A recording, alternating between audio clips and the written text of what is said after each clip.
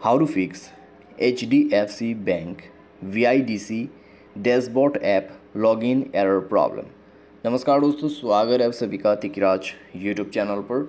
तो दोस्तों, आज के इस वीडियो पर मैं आपको बताऊँगा कि कैसे आप जो है error network please check your network connection का ये जो प्रॉब्लम है, इसको कैसे सॉल्व कर सकते हैं।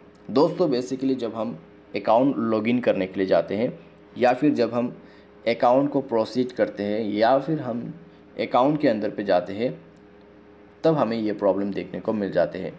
तो लॉगिन नहीं कर पाते सारे साथ, आपको नेटवर्क का इश्यू हो जाते हैं। तो आज के इस वीडियो पर हम करेंगे इस प्रॉब्लम को सॉल्व वीडियो को शुरू से लेकर अंत तक देखें। जो भी सॉल्यूशन है उसको फॉलो कीजिए। सॉल्व हो जाएगा आपका प्रॉब्लम दोस्तों वीडियो शुरू करने से पहले मेक श्योर sure चैनल को सब्सक्राइब करते हुए बेल आइकन को क्लिक करें। अगर आप ऑनलाइन पैसा कमाना चाहते हैं तो वीडियो डिस्क्रिप्शन पर आपको लिंक मिल जाएगा और किसी भी प्रॉब्लम के रिगार्डिंग पर आप हमें ट्विटर पे फॉलो करके मैसेज कर सकते हैं। दोस्तों, चलिए वीडियो शुरू करते हैं। यहाँ पे सबसे पहले आपको करना क्या है? अगर आपको इस तरीके का कोई भी प्रॉब्लम होते, मोबाइल को रिस्टार्ट कीजिए और एक बार चेक करके देखिए कि आपका प्रॉब्लम सॉल्व हुआ है या नहीं हुआ है। अगर दोस्तों फिर भी कोई प्रॉब्लम आते हैं तो आप एक बार ऐप को अपडेट कीजिए। ठीक है? ऐप को अपडेट कीजिए। उसके लिए आपको प्ले स्टोर पर जाना है और वहीं पर जाके इसको अपडेट करना होता है। ठीक है? प्ले स्टोर में जाइए ऐप को सर्च कीजिए अपडेट कीजिए। अपडेट करने के बाद जाइए सेटिंग और यहाँ पे सर्च कीजिए app and notification and and यहाँ पे आपको ऐप ओपन कर लेना है। दोस्तों ऐप एंड नोटिफिकेशन के जगह पर आपको manage app install app app management app manager apps करके ऑप्शन मिलेगा तो उसमें जाइए एंड फोर्स स्टॉप करके ओके कीजिए।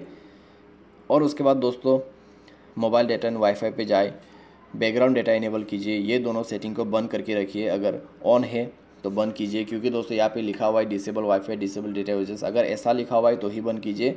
अगर आपके मोबाइल पे डिसेबल मेंशन किया हुआ नहीं है, सिर्फ़ यहाँ पे लिखा हुआ है डेटा यूजेस एंड वाईफाई तो इस सेटिंग को ऑन करना होता है।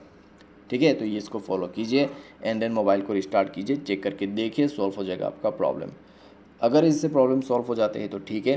अगर इससे प्रॉब्लम सॉल्व नहीं हो रहा है तो स्टोरेज एंड कैश पर जाए क्लियर स्टोरेज ओके कर दीजिएगा। ठीक है? इसका स्टोरेज क्लियर करके दोबारा से ट्राई कीजिए और आपका प्रॉब्लम सॉल्व हो जाएगा। तो ये है दोस्तों एब रिलेटेड सॉल्यूशन अभी दोस्तों करते हैं नेटवर्क सॉल्यूशन क्योंकि नेटवर्क का भी इशू आ रहा है। तो सिस्टम पर जाइए रिसेट ऑप्शन पे जाइए reset wifi mobile and bluetooth and and SIM select करके रिसेट सेटिंग पर क्लिक करके मोबाइल पासवर्ड पैटर्न जो भी है, भर दीजिए और रिसेट कीजिए। अगर आपको नेटवर्क रिसेट सेटिंग ढूँढने में दिक्कत होते तो सर्च में जाए, ठीक है? सेटिंग के सर्च वहाँ पे टाइप कीजिए रिसेट नेटवर्क सेटिंग तो मिल जाएगा। तो एक बार रिसेट कीजिए एंड एंड वाईफाई नेटवर्क पे जाए सिम नेटवर्क पे जाके नेटवर्क को बंद करके ऑन कीजिए। उसके बाद प्रीफेड नेटवर्क टाइप पर जाइए। नेटवर्क को स्विच कीजिए between two G three G four G जो अच्छा नेटवर्क है, उसको यूज़ कीजिए। उसके बाद ट्राई करें सॉल्व हो जाएगा आपका network problem by any chance अगर नेटवर्क का प्रॉब्लम फिर भी सॉल्व ना हो तो सिम पे जाए एक्सेस पॉइंट उसके बाद three dots and then reset to default ये करने के बाद में आप यूज़ करके देख सकते या फिर आप ये भी कर सकते हैं नेटवर्क ऑपरेटर पे जाके नेटवर्क को ऑटोमेटिक सेलेक्शन कर सकते या फिर मैनुअल सेलेक्शन कर सकते हैं इस बटन को बंद करके। ठीक है? तो ये चीज़ भी आप यहाँ पे फॉलो अप कर सकते हैं। तो ये है नेटवर्क सॉल्यूशन तो ये दोनों को अगर आप मिक्सचर करके यहाँ पे यूज़ करेंगे तो प्रॉब्लम डेफिनेटली फिक्स हो जाएगा।